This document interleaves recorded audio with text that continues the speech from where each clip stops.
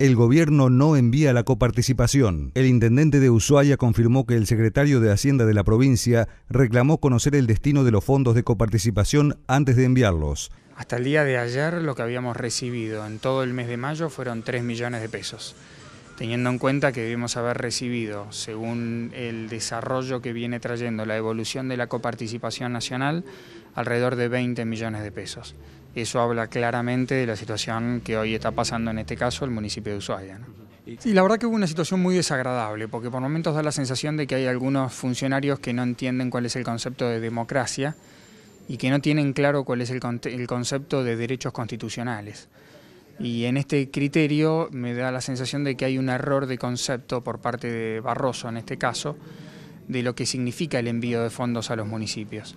Eh, la municipalidad de Ushuaia en este caso no es una dirección del gobierno provincial, sino que es este, una institución que por constitución se la reconoce como autónoma, como independiente en términos económicos, en términos políticos y en términos sociales.